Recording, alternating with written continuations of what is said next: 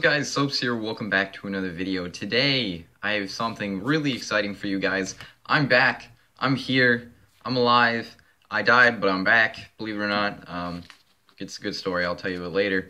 But today I have a, uh, a pack, and it's backwards, because cameras, man. Um, but yeah, I'm back, and I'm going to show you some card games, because I know you want to see some.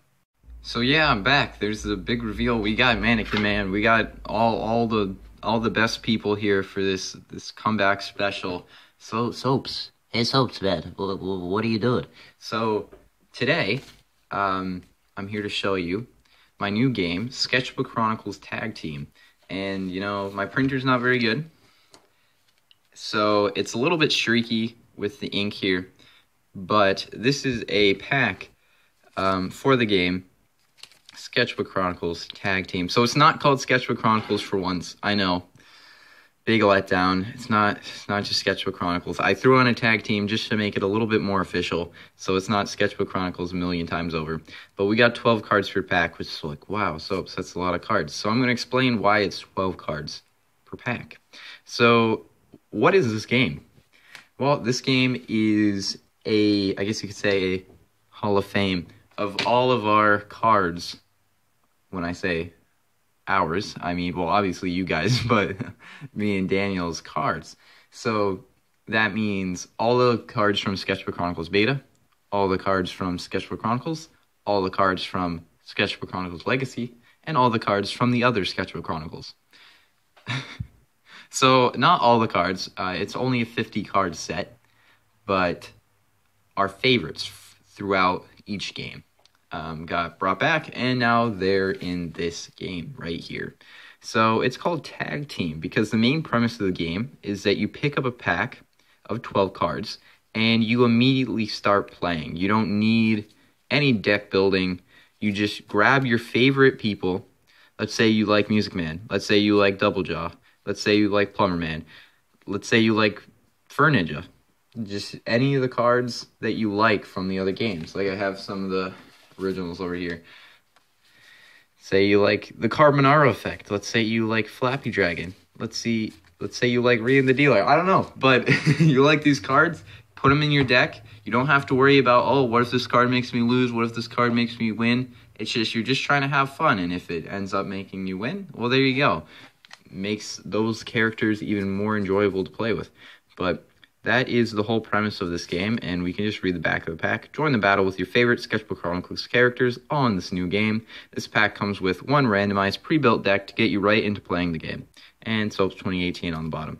So there is Soapss YouTube channel. Um, yeah, you should go check out my YouTube channel. Oh wait, you're already on it, but um, got some stuff on my desk.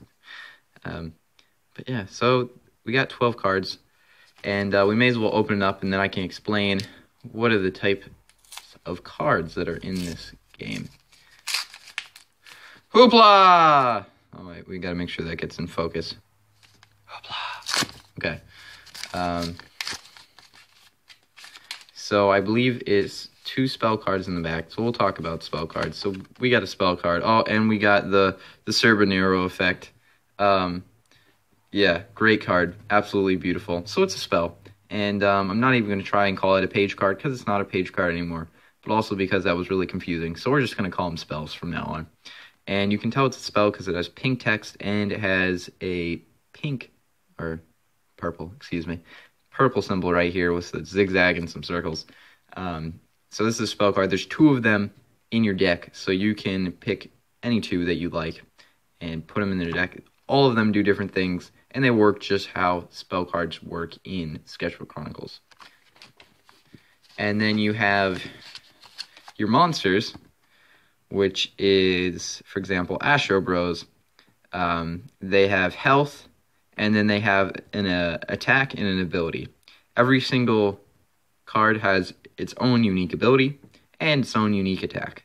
Um, they do the same damage, obviously. I'm not going to give them different numbers for every single card, but they have different names. Um, so right here we have Astro Bros. He has 50 HP, and his ability is quite the view. Your opponent reveals their hand, and coming back down does 20 damage. So uh, I may as well just read the Arrow effect as well.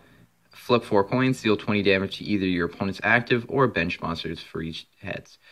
So you, are probably saying, "Oh my God, Soapss, what's what's a bench monster?"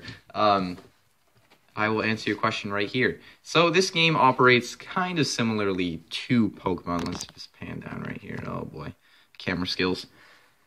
Uh, really similar to Pokemon, where you have a bench of monsters and uh, I guess Pokemon, but in this case, monsters, and you have an active monster, and you can only attack with your active monster, and the ability is only active when you're in the active monster slot, unless it references the, the bench. So uh, I'll do a rule video later on, but for now, you get the general, general premise. It acts somewhat like Pokemon, and the way that you win the game is by making your opponent run out of cards where they can physically not play anymore. So that is how you win, and those are the two types of cards in the game. So next up, let's just go through all the cards. So we have 60 HP, Plumber Man, Mega Mushroom. At the start of your turn, flip a coin. If heads, Plunge does plus 10 damage, and this stacks, so every heads that you get, it just adds on another 10 damage permanently. So Plunge does 20 damage. Also, this is the number of uh, what the card is in the set. Next up, we have Dracoslav, 80 HP, Lava Mode. All your opponent's bench monsters lose 10 HP every turn. And um, I didn't write when it's on the field or anything because the ability is only active if it's on the field, so that just has to go um, into activity as the card is placed, and it stays there until it's sent to the discard pile when its HP is zero. So another thing is that because the game's not supposed to be super strategical, each monster card and spell card is supposed to be balanced. I mean, obviously there's probably going to be one card that's a little bit better than a different one and but there's no glaring differences when it comes to health and damage. They're supposed to be somewhat balanced. So you can just go with your favorite characters and you should have a pretty even battle with someone who might have thought put a little bit more thought into their deck. So then we have Scorching Flames, which is 20 damage. Then we have Halloween Horrors, uh, 70 HP, Inducing Fright. Flip a coin every time this card attacks. If heads, your opponent's mon- your opponent's active monster can attack next turn. And then Rattling Bones for 20 damage. Charles, um, I'm taking this. when this monster dies, your opponent must discard the top card of their deck, and Water Sploosh 10 damage. So he has 50 HP as well. Um, discarding is actually really bad in this game if your if your opponent makes you discard because that means that you're losing life technically because the more cards that you don't have in your deck, the less cards you're going to have throughout the game, and when you run out of cards, you lose. So um, you want to have cards. So this is a pretty good card, and that's why he doesn't have a lot of HP and he doesn't do a lot of damage. So we have Eager Beaver. He's pretty eager, and that's why his ability is Eager. For every turn this card is on the field, it gains plus 10 HP. And oh boy, I forgot to paint bucket that because, um, hold up, hold up, man. Focus. I believe in you.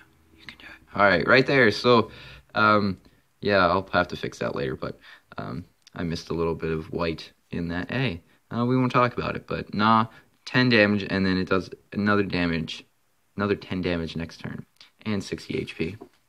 Camel Gunner, it's a lot of sand and uh, I guess you could say yellow and tan on this card. 70 HP and Camel Gunner, pew pew. Every time this monster kills a monster, deal 40 damage to a benched monster. Benched monster, excuse me. And pew, 20 damage. A pretty good card for doing a lot of damage to a specific monster. Next up, we have Flappy Dragon, 70 HP, tough skin, attacks do minus 10 damage to this card, and Fire Fang, 20 damage. Mega Meg, oh my god. you can tell I haven't done YouTube in a while when I can't speak. Um, this, oh boy, okay, I done goofed. So, as you can see, these cards are subject to change. As of right now, they're not final. Um, all the cards are done, but I still need to make edits. As you can see, this is a spell card, and uh, it does not have the specific spell card color at the bottom, and that's why we have three spell cards in this pack. So, um, whoops, but um, hey, you get another spell card. Yay. Mega Mushroom. Attach this card to your active monster. Its attacks do plus 20 damage. Next up, we have Furman. I love the pain. This card loses 10 HP every turn, and Fur Fist 30 damage. And uh, he has 60 HP. And then finally, we have TP Man, which has the freaking. oh boy. Okay. Well, um, he looks he looks good with pink anyway. Um, 60 HP. Teleport when this card dies for the first time. Add it to your hand. So that means he basically has two lives, and TP does 20 damage. So yeah, that's that's tag team. Um, I'm goofing pretty hard, but that's that's all right. Um, so yeah, Soapss is back. Tell a friend. Um, yeah, tell your dad. Um, have him subscribe. Yep, card games.